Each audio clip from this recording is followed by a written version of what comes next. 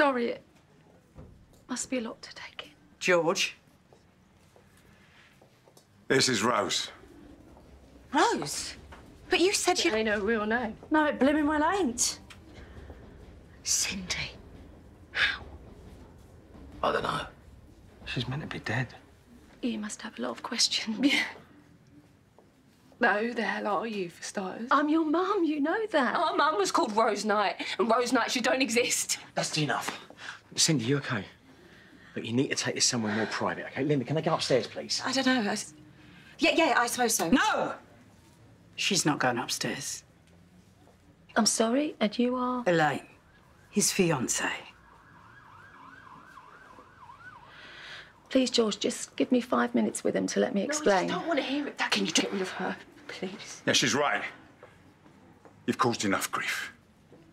If the girls want to get in touch, they'll call you. Please, George. I said no! Don't talk to her like that. Dad, I need to hear what she's got to say. Please, G.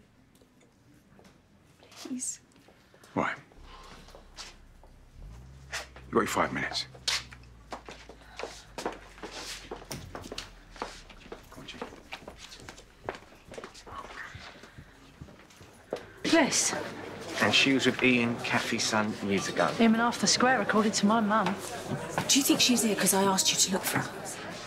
I don't know. I don't know, but I'm going to find out.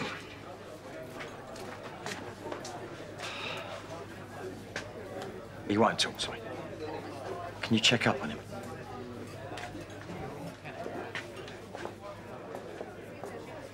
Phil? Ian.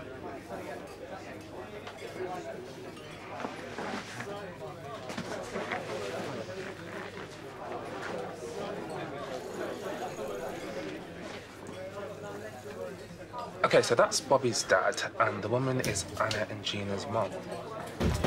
I've just heard Sharon say that she's Ian's ex-wife and everyone thought that she was dead. Are you, are you saying that Bobby's mum might not be dead? Not Bobby's mum, Peter's mum. Oh, I'm so confused right now. Didn't she try to get him shot? Yeah, and ended up in prison for it. Did you get back with someone who tried to have you killed? Yeah, well, you saw the way he looked at her. Obviously, he still loves her, doesn't he? Mum said he was obsessed with her. Whatever happened to once bitten, twice shy? Depends who's doing the biting. How'd you find her? I didn't. She found me. She must have been desperate. What do you want, Phil? I want to know what your game is.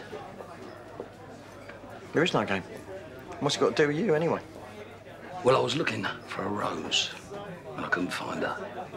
So I'm uh, thinking maybe me looking for her is what's brought you two back here. Us coming back here, it- nothing to do with you.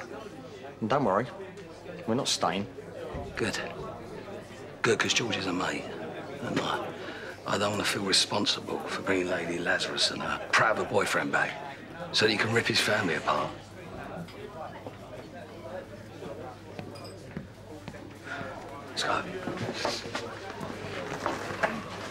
See you later.